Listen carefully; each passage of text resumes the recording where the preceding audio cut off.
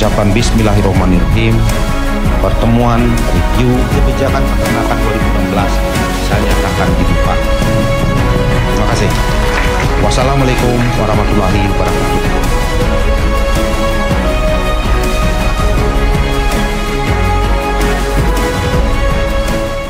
yang saya banggakan Pak YK yang sekarang diperkuat Pak Doni, Bu Titi dan semua kru yang saya kira tidak pernah berhenti untuk terus membangun sebuah diskusi-diskusi yang konstruktif. Pertama yang ingin saya kritisi adalah Pak Dirjen tidak menggambarkan bagaimana roadmap, bagaimana strategi. Kami banyak sekali mendapatkan pengaduan dari masyarakat perunggasan misalkan yang selalu dipermainkan baik dari sisi budidayanya maupun dari sisi perdagangannya. Kalau bahasanya selalu dipermainkan berarti ada sistem dan mekanisme yang kurang tepat.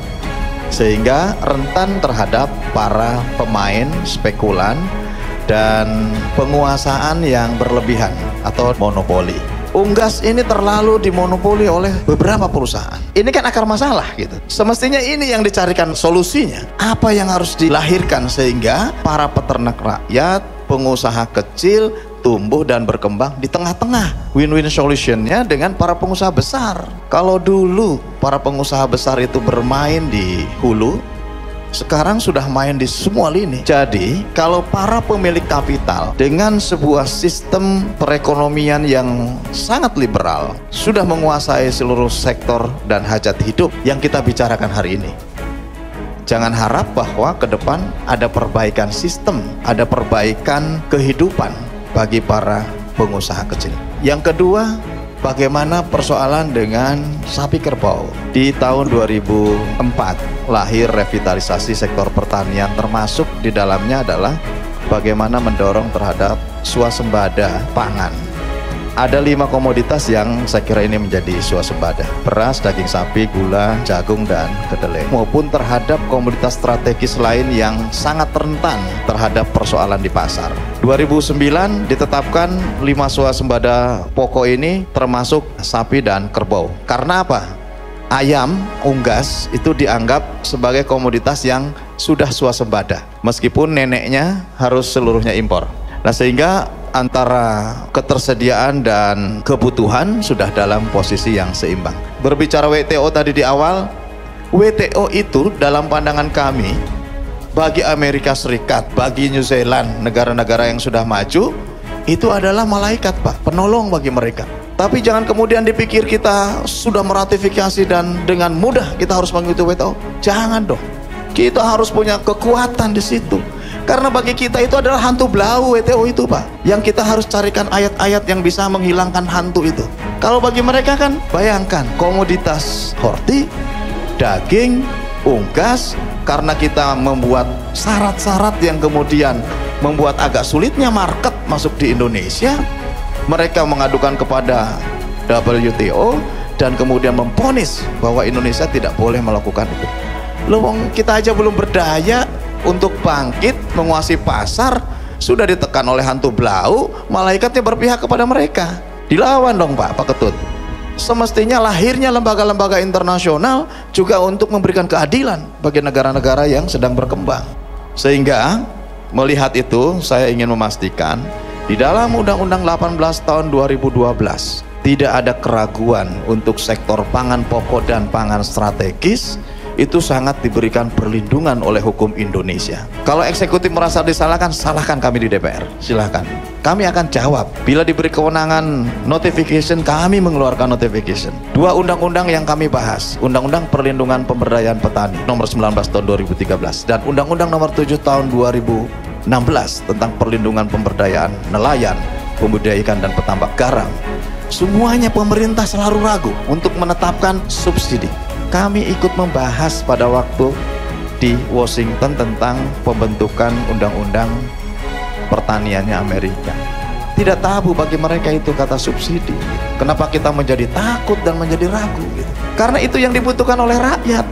Kalau kemudian rakyat belum berdaya, belum mampu, banyak peternak yang belum hidup, banyak peternak yang masih berdemonstrasi, berorasi.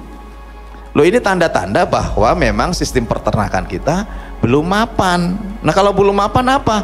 Ya kita harus punya afirmatif. Apa kebijakan afirmatifnya? Itu yang harus kita pikirkan. Jangan kemudian dibenturkan kita kepada ratifikasi WTO, kepada peraturan GATT. Kita justru harus punya bagaimana secara berdaulat kita membangun sistem perekonomian yang berbasiskan kepada peternakan misalnya. Ketiga, setelah kami menetapkan Undang-Undang 18 tahun 2012 tentang pangan yang menjamin terhadap bahwa pangan kita akan bisa dicapai melalui kedaulatan, kemandirian, ketahanan, dan keamanan pangan yang juga tadi mengatur apa yang tadi disampaikan Pak Ketut sebetulnya secara makro kami sudah tuangkan bagaimana juga pangan harus aman. Segala bahan tambahan pangan juga ada sanksi jika melebihi ambang batas yang sudah ditetapkan kemudian kami berinisiatif karena Undang-Undang 41 tahun 2014 ini tidak memadai untuk bisa menjalankan penyelenggaraan sektor peternakan maka kami revisi menjadi Undang-Undang 41 tahun 2014 saya kira ini sangat memberikan ruang yang cukup bagi penyelenggaraan peternakan nasional. Termasuk bakalan itu harus ditahan dulu selama empat bulan supaya menjadi nilai tambah para petani kita. Ada kewajiban juga menyerap terhadap para petani lokal.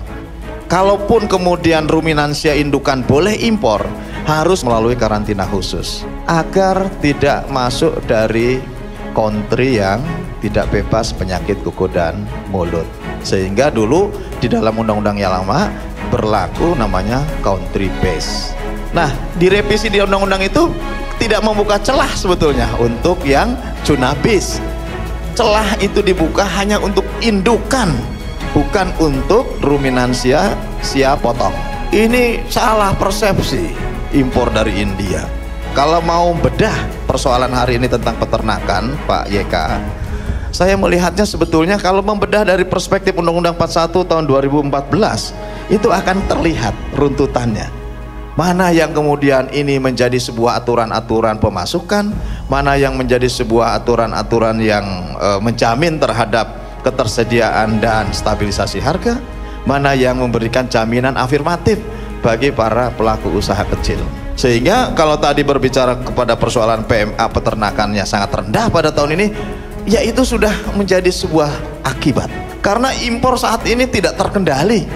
Karena bebas sekali sekarang impor masuk kalau mau melindungi peternak lokal, atur hubungan bisnis, hubungan usaha kembalikan kepada ekonomi Pancasila, bukan kepada ekonomi liberal, ekonomi yang sangat bebas, yang kemudian si pemilik modal bisa menguasai dari hulu sampai hilir. Yang keempat, persoalan kebijakan eksekutif. Dirjen yang lama, Pak Profesor Muladno, itu menetapkan sentra peternakan rakyat. Ide dan gagasannya bagus, tetapi tidak menjamin terhadap pertumbuhan populasi. Karena catatan kami 2011 itu kan sekitar 16,4 juta sapi dan kerbau. Kemudian sampai 2015 itu turun 3 juta ekor. Nah bagaimana mengembalikan kepada populasi awal dan berapa sebetulnya populasi ideal dengan kebutuhan rata-rata kurang lebih 1,2 juta ekor per tahun berapa kemudian harus impor bakalan, berapa harus impor ruminansia indukan, berapa harus impor daging beku, itu yang sesungguhnya harus diprestasikan hari ini. Menjadi review kebijakan peternakan 2016 dan bagaimana rencana strategis tahun 2017. Bukan persoalan jawabannya adalah siwap, tidak cukup untuk itu. Jadi kalau untuk menuju swasembada daging sapi saat ini menurut saya jawabannya nothing. Nah sehingga harus ada kebijakan yang komprehensif. Karena untuk membangun peternakan tidak mudah. Negara kita adalah negara yang hanya 1,9 juta kilometer persegi luas lahannya.